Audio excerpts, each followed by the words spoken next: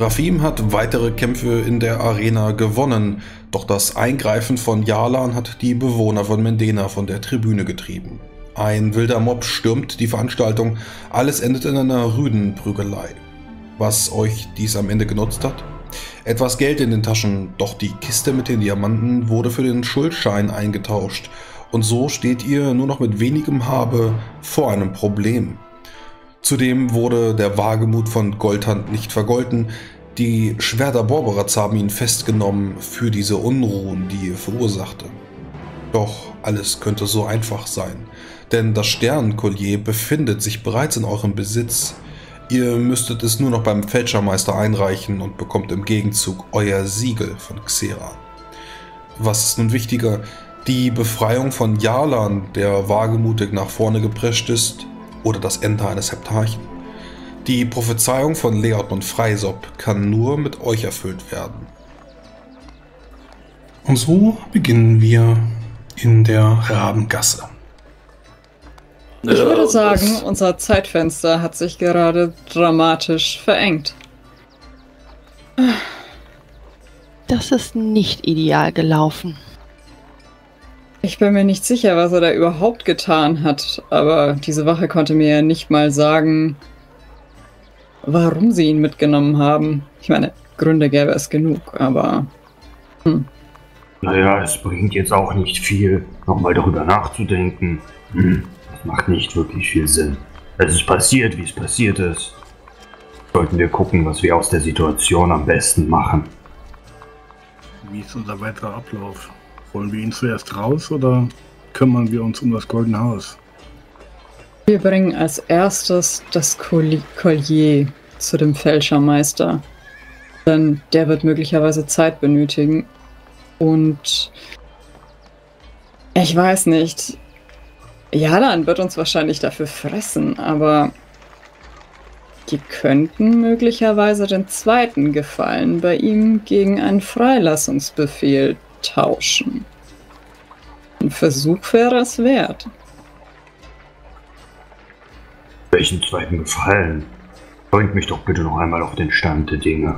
Nun, der Fälschermeister verlangte einen Gefallen für einen zweiten Gefallen, den wir ihm tun. Kurtan hat hart verhandelt und deswegen bekommen wir mehr als nur die Passage ins Goldene Haus. Ihr verlangt noch einen Dienst für uns. Ihr sagt uns nicht, wie hoch der Gefallen wäre für diesen Gefallen. Mhm. Ich fürchte Schlimmes. Ich bin nicht so begeistert, diesen Gefallen einzulösen. Vielleicht finden wir eine andere Möglichkeit. Fräulein, wer sollte diesen Freilassungsbrief unterschreiben? Xeran? Hm, möglicherweise dieser Richter, im Namen Xerans. Ich denke, wenn Xeran direkt ihn unterschreiben würde, das wäre unglaubwürdig, nicht wahr?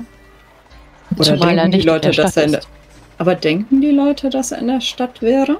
Ihr habt doch diese Illusion das einfache gesehen. Volk. Ja, aber ich denke nicht, dass die, äh, die Stadtwache oder die wichtigen Würden, Würdenträger hier in der Stadt äh, nicht von seiner Abwesenheit wissen. Hm. Dann käme wohl nur der Richter in Frage. Vermutlich. Aber ja.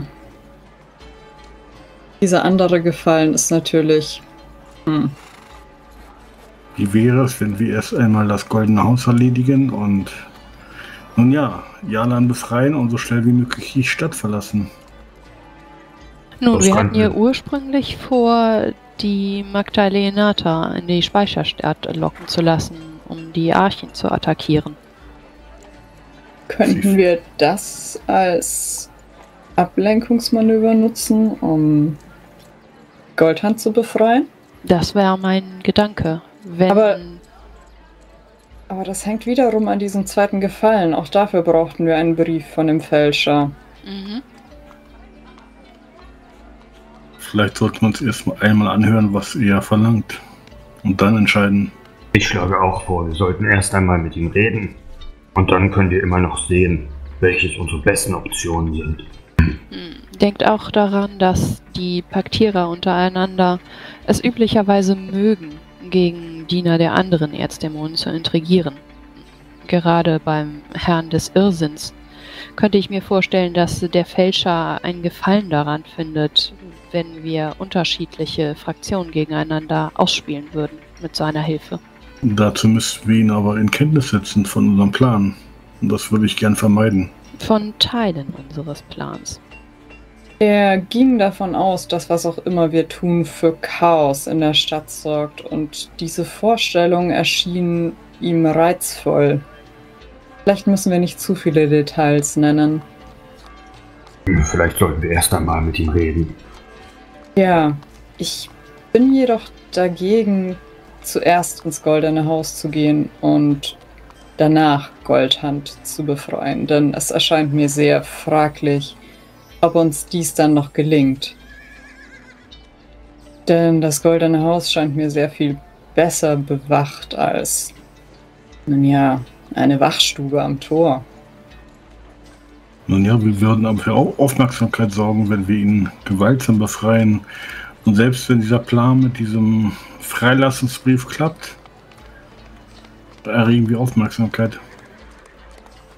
Wir erregen Aufmerksamkeit, aber wenn wir sofort ins Goldene Haus weitergehen, vergeht nicht mehr viel Zeit, in der uns das schaden könnte.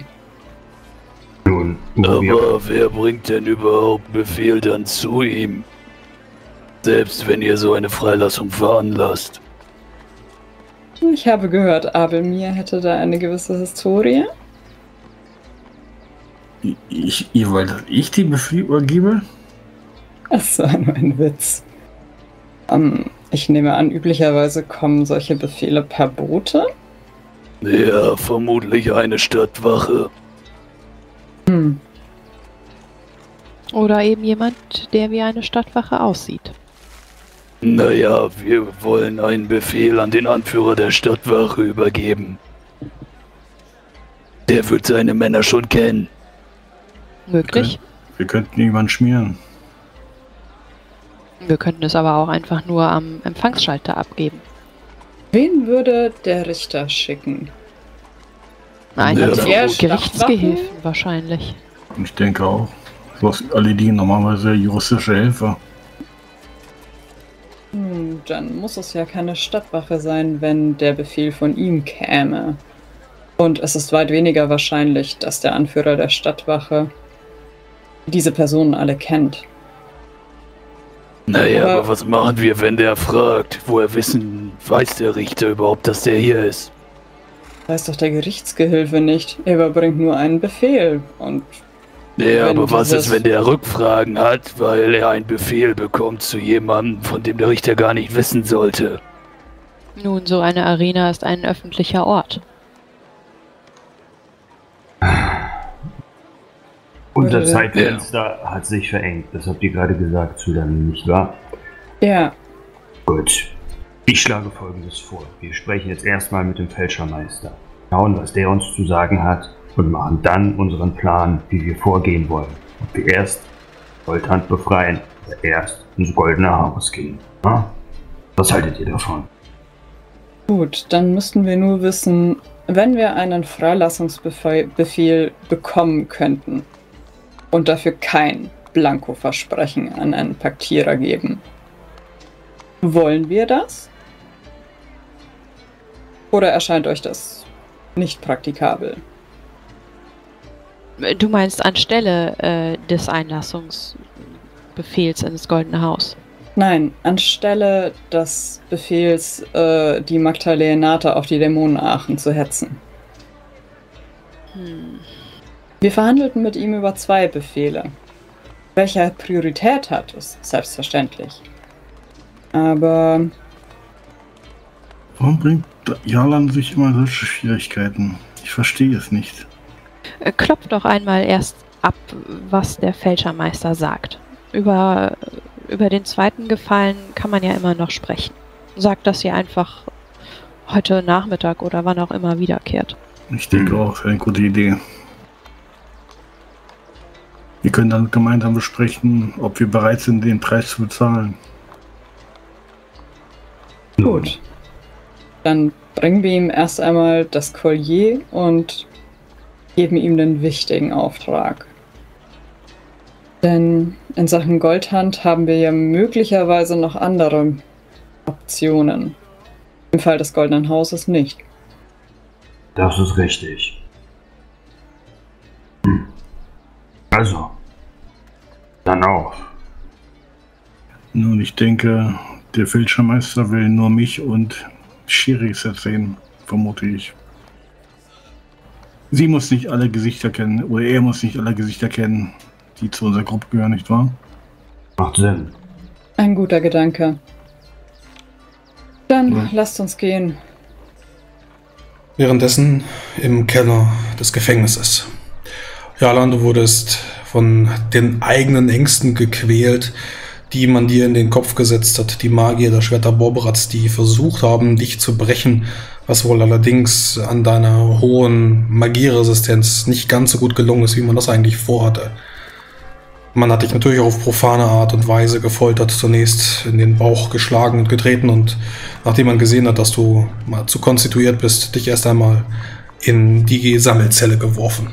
So sitzt du neben anderen Piraten, neben einem Marasana, der dort ebenso angekettet ist, und versuchst du dir erst einmal vom Leib zu halten, während die Zeit quälend langsam vergeht, bis dann wieder Gero Siebenstedt neben dir, ja, vor dir an den Gefängniszellen herantritt. Die Piraten nur kurz verscheucht, die dort ebenso angebunden sind und äh, dort mit einer großen Leibgarde steht, fünf Stück, zudem ein Magier, und nickt dazu und hat wohl einen großen Bericht in der Hand. Korpulent, wie er da vor dir steht, guckst dir sie die Gesichtszüge an, vielleicht mal ein Hochstapler oder sowas gewesen, jetzt, äh, wo er so fett geworden ist, vielleicht nicht mehr ganz so ähm, eloquent. Also, Ich rappel mich, komm ran. ich rappel mich auf, tritt auf ihn zu. Ah, Oberst. Nun, ihr habt hinreichend deutlich gemacht, wie ernst euch die Lage ist. Ich bin mir sicher, wir können jetzt eine Abmachung auf Augenhöhe treffen, die uns beider Seite pro Ja, ganz sicher. Goldhand. Hervorragend. Sollen wir also an einen etwas, ich blicke mich in der Zelle um, verhandlungswürdigeren Ort gehen? Ich habe nichts den anderen so zu verschweigen. Selbstverständlich, aber nun so zwischen Tür und Angel. Genau hier werden wir bleiben. Wenn ihr darauf besteht. Unsere Magier haben in deinem Geist gewühlt und dabei die wahre Begebenheit erfahren. Sicher, du nennst dich Goldhand, aber du trugst vorher einen anderen Namen. Nun, ich trug viele Namen, dies ist ein Teil meines Geschäftes. Ich bin mir sicher, dass ihr aus jedem einzelnen Händler, der hier hindurchkommt und in den, sagen wir, göttertreueren Landen Geschäfte gemacht hat, herausquetschen könnt, dass er verschiedene Namen trug. Dies ist Er nun wohl kaum ein Verbrechen, nicht wahr? Er beachtet währenddessen deine Hand. Ich weiß nicht, was mit dir passiert ist, aber mittlerweile haben wir einige Recherchen angestellt und wir sind uns sehr sicher, dass du derjenige oder einer derjenigen bist, die vor zwei Jahren auf dem Schlachtfeld stand. Ich versichere euch, Oberst, Schlachtfelder sind nicht Teil meines Metiers. Ihr müsst euch doch wohl irren. Ja, sicher. Ah, er streicht sich so ein bisschen über seine fleckige äh, Gardeuniform. Das Problem ist, dass eure Akte einige neue Einträge hat. Dabei dreht er das äh, Pergament einmal um und du kannst äh, sehen, dass er wohl was dazu geschrieben hat.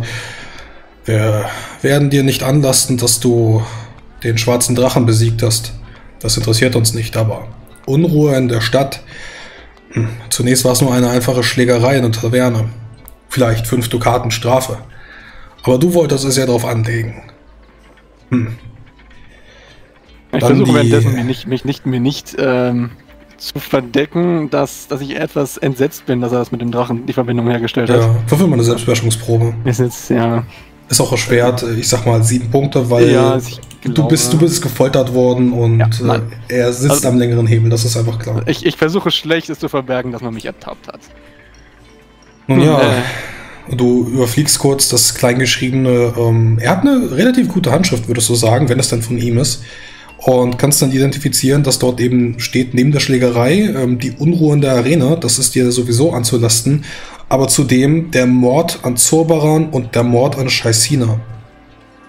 Oh was, ihr müsst euch doch wohl sehr... Ihr müsst doch wohl sehr falsch informiert worden sein von jemandem. Ich habe diese beiden äh, Personen solchen Namens noch nie gesehen oder getroffen. Hm, Er versucht dich ein bisschen zu lesen, nickt dann. Ich glaube euch. Aber das spielt keine Rolle. Denn sie sind verschwunden.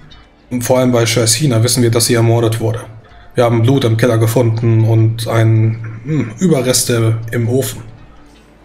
Viel Hast war nicht mehr von ihr da, aber es ist mir auch egal, wer es war. Aber jetzt haben wir einen Schuldigen und das ist das am, am Ende das, was zählt, wenn Xeran hier auftaucht. Ich muss doch an dieser Stelle noch einmal darauf hinweisen oder euch vielleicht erinnern, dass äh, mein Gefolge immer noch dort draußen mit dem Original eures Schuldscheines ist. Wollt doch sicherlich nicht, dass die Geräumenbank euch einen Besuch abstattet. Hm. Auch das mag möglich sein. Aber diese Schulden hatte ich im Vorfeld schon. Entweder. Und, und sie könnten einfach so, ich schnipse mit der Goldhand, äh, leicht zittern vermutlich, einfach so verschwinden. Wisst ihr was? Ich glaube euch, dass eure Leute dort vielleicht noch draußen sind. Und vielleicht haben sie auch den Schuldschein. Aber wir werden sie kriegen. Denn jetzt wissen wir, dass sie da sind. Die anderen Helden vom Schlachtfeld, ja? Also wirklich. Habt Das mir gedacht, dass er nicht alleine hier auftaucht. Es ist eine sehr hanebüchende Ansage. Äh, Annahme. Dieser Riese, der an der Arena stand, mit dem Bären, der durch die Stadt läuft und dem Travia aus Geld spendet. Ein Fjahninger aus dem wilden Norden. Riese. Ein Riese mit einem Bären. Und genau diese Re Informationen habe ich in meinen Recherchen ebenso entdeckt. Spielt keine Rolle, ob er Fjaninger ist oder etwas anderes. Es wird von einem Riesen gesprochen. Äh, Ihr scheint euch euer eigenes Bild der Wahrheit zusammengereimt zu haben, Oberst. Wisst ihr was? Es ist völlig unerheblich, was ich jetzt mit euch zu tun gedenke. Denn das liegt nicht mehr in meiner Hand. Wir haben Xeran informiert. Er wird bald hier auftauchen. Also wirklich, dies ist eine sehr leere Drohung. Jeder weiß, dass Xeran an der Front alle beide seine Hände voll zu tun hat. Und nicht voll mit Gold, wie man euch vielleicht erzählt hat. Er scheint wieder überrascht, dass du diese Information hast, nickt dann aber. Unerheblich. Wir haben ihn dennoch informiert. Und er wird Hm. hier auftauchen. Nun seht ihr, ich bin bereit zu warten und zu sehen, was passiert, Ober. Ihr auch? Ist dies ein Spiel, das ihr spielen wollt? Wer kommt zuerst hier an? Xeran? Xerans Bote, der euch sagt, dass er nicht kommt? Oder vielleicht die Schuldeneintreiber? Er nickt, grinst und tritt dann ab. Lässt sich zusammen mit dem Piratenabschaum in der Zelle schmoren. Wenn hinter mir die Tür zuklappert, stoße ich noch einige, unter meinem Atem einige sehr kräftige Fluchworte aus. Versuchen wir da wieder eine Ecke zu suchen, die nicht, in die zumindest keiner reingepisst hat. Ja. Ja, äh, neben dir, wie gesagt, immer noch der. Es sieht aus wie ein Maraskaner, du kannst ihn erkennen, äh, wie er dann in seiner verblichenen Robe sitzt. Ehemals wohl bunt und äh, mit auffälligem Haarschmuck. Und scheint wohl die einzige höfliche Gestalt zu sein, neben dem anderen Piratenabschaum. Musste reden mal von oben nach unten. Leben ist schön, Bruder, Schwester, ey. Ist hier Hm. unten noch? Selbst hier unten noch, Bruder, Schwester. Nicht zu ungut, aber du siehst nicht so aus, als gehörtest du hier unbedingt rein. Hm. Was treibt dich in diesen Kerker? Nun, was treibt einen in diesen Kerker? Vor allem, wie kommt man hier wieder heraus? Ich hatte da ein, zwei Pläne. Hm, das sehe ich euch an. Aber ich denke, im Moment ist Geduld unsere beste Waffe. Ich denke, das trifft wohl zu. Derweil geht Kurtan Abelmir durch die Straßen, durch die Gassen und kann nach kurzer Zeit wieder im Handwerkerviertel bei den Fälschermeistern auftreten. So, da sind wir wieder, Sheriff. Ich hoffe, wir müssen diesmal nicht wieder sein unverschämtes Trinkgeld bezahlen. Du hast an die Tür geklopft, die Tür geht auf und wieder einmal steht der gleiche Schüler vor dir, der dich feixend angrinst und die Hand aufhält. Soll ich sie dir abschneiden? Er schlägt die Tür wieder zu. Das war wohl die falsche Antwort. Klopf doch mal. Die Tür bleibt zu. Wir haben, was der Meister verlangt. Die Zeit vergeht. Ihr seid euch sicher, dass irgendjemand euch beobachtet, denn durch die Fenster könnt ihr sehen, wie die Vorhänge wohl zurückgeschlagen worden sind und äh, sich da wohl einige Gestalten bewegen, aber die Tür bleibt erstmal zu. Vielleicht solltet ihr klopfen. Wie wollte er beim letzten Mal? Wenn er nochmal öffnet, hat sich sein Preis sicher verdoppelt. Ich glaube, es waren 50 Goldstücke.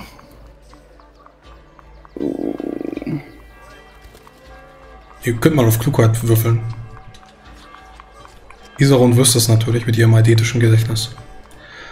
Aber Abelmir, dein Kopf ist wie ein Sieb mittlerweile. Jetzt, wo du die ganzen obskuromantischen Formeln, die eingeprägt hast, er lebt schon für den Augenblick. 50 Dukaten müssen richtig sein. Die Tür wird nach einem Klopfen geöffnet und äh, ihr könnt sehen, wie der gleiche Schüler äh, dieses Mal vor Zulamin steht. Ja. Entschuldigt die Unhöflichkeit meines Begleiters. Wir haben, was der Meister verlangt. Und Er würden es ihm gerne überreichen. Ich nicke meinem Begleiter zu. Ja, ich zücke mal einen Geldbeutel mit 50 abgezählten Goldstücken. Ja, die äh, streicht er sich ein, wird äh, überrascht nicken. Letztes Mal waren es 10. Ich hätte jetzt 20 verlangt, aber wenn ihr mir 50 gebt, kommt mit. Verdammt. Ihr werdet Als in den gleichen, Entschädigung dafür, dass er euch bedroht hat. ihr werdet Das in den gleichen Raum Ordnung. geführt und könnt dann wieder vor den Requisiten stehen, äh, den Sta- Zauberstab von Borberat, die Alchemistenschale, all das, was man hier so erblicken kann, die Raulskrone. Könnte man die nicht mitbringen? Ich meine, na, eine, eine Anfertigung hat Roha ja wohl mittlerweile, aber diese hier ist perfekt gearbeitet. Und nach kurzer Zeit steht Tiram Ion wieder vor euch. Schaut euch an aus seinen silbrig glänzenden Augen. Grüß wohl miteinander. Schön, dass ihr wieder hier seid. Ich habe gehört, ihr wart erfolgreich, ja? Oder? Das waren wir, Meister. Sicher schon. Also gut, dann äh, brauche ich beide äh, Gegenstände. Das Desiderat. Ich, ich muss mal gucken, du hast, du hast doch das Collier. Ja, seht selbst. Hm, Ich lege es auf den Tisch und schlage vorsichtig den Stoff zurück. Und hier Und ist das, ein Arcanum. Womit er, ihr könnt sehen, wie seine Augen äh, silbrig aufleuchten und äh, alles in einem Schleier getaucht wird, als ob er blind wäre. Dann klärt sich das Ganze wieder und er nickt. Sehr er. oder? und hier ist das Dokument. Ich habe einige Gerüchte gehört, ne? Ihr solltet nicht auf Gerüchte hören. Ihr wart nicht ganz so ähm, leise, wie ich es erhofft hatte.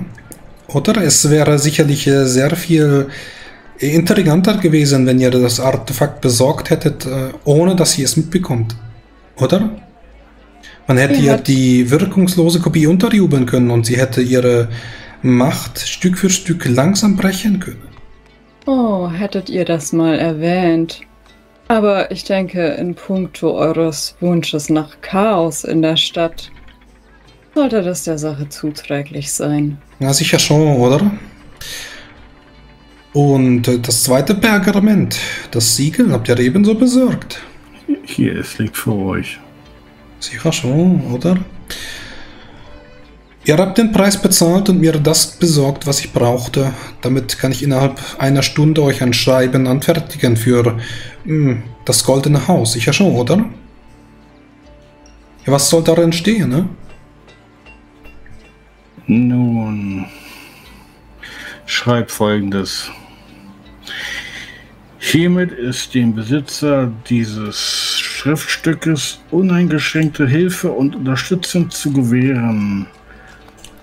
Der Besitzer ist autorisiert, den Krug der Lindegard aus dem Goldenen Haus zu entfernen und zu mir zu bringen. Weitere Gegenstände sind nur gegen Quittierung aus derselben äh, herauszugeben. Unterschrift Xeran, Herr von Xeranien, unumschränkter Herr über Stadt und Länder, Wahrung, Beilung und Krokung, glaube ich. Titel, Titel, Titel. Sicher schon, oder? So, dass wir es. Es müsste reichen. Nun, wir sprachen über ein zweites Schriftstück. Sicher Und schon, vergesst, oder? und vergesst nicht, dass der Inhaber des Dokumentes natürlich auch ähm, einen Geleitschutz bei sich hat, um die Sicherheit des Schatzes zu gewährleisten. Mhm. Oder? Sicher schon, das kann ich äh, anfertigen. Ähm, und äh, just wo ihr mir äh, mitgeteilt habt, was ihr dort im Goldenen Haus äh, aufsucht, fällt mir ein Preis für den zweiten Gefallen ein. Sicher schon, oder? Der Krug der heiligen Hildegard. Auch ihn würde ich gerne einmal mh, anfertigen. Aus einem Unikat ein Unikum. Sicher schon, oder? Ihr meint, wenn wir euch den Krug zeigen, würdet ihr danach ein zweites Schriftstück anfertigen? Für Sicher? Uns? Sicher schon. Was, wenn wir dieses Schriftstück davor benötigen? Ich äh, handle erst, nachdem ich bezahlt worden bin. Ihr müsst mich für einen dummen Mann halten, aber das ist nicht so. Ganz und gar nicht. Wir werden den Krug euch nicht überlassen. Wenn ihr ihn abkopieren wollt, müsst ihr das in unserer Gegenwart tun. Das steht euch frei. Niemand hat gesagt, dass ihr gehen müsst. Äh? Nun, wir müssen uns beraten. Wir werden euch Bescheid sagen. Sicher schon. Wir werden euch äh, das Schriftstück in, äh, sagen wir, einer Stunde vorbeibringen. Oder ihr könnt es abholen. Aber ich wurde bezahlt und ich werde liefern. Habt denke- Dank. Ich denke, wir werden das abholen. Sicher schon. Dann, ein weiterer Handel steht im Raum. Es obliegt euch, ob ihr ihn annehmt. Ihr habt den ersten Kontrakt erfüllt. Seid bedankt. Nun, lasst uns gehen. Ich würde Ja, aus, dem- cool. aus, dem, aus dem Haus heraustreten, aus, aus dem Raum und aus dem Haus. Ja, ohne. Probleme. Uah, Ich fühle mich schmutzig. Er hat Ich etwas weiß, an was ihr sich. meint. Er hat etwas, etwas an sich, was mich abstößt. Tja, nun ja. Selbst, selbst wenn wir noch einmal an seinem Schüler vorbei müssen, denke ich trotzdem, es ist eine bessere Entscheidung, das Schriftstück selbst abzuholen. Aber lasst uns erst einmal gehen. Vielleicht nicht auf dem direktesten Weg. Vielleicht hat man Jalan freigelassen. Oder sollte ich sagen Goldhand. Ich wünschte, ich hätte schneller geschaltet. Es wäre wirklich wertvoll gewesen zu wissen, weswegen sie ihn. Ob es nur um den Aufruhr in der Arena ging? Glaubt ihr wirklich, diese Garden brauchen hier in dieser Stadt einen Grund? Sie können jeden verhaften, aus willkürlichen Gründen.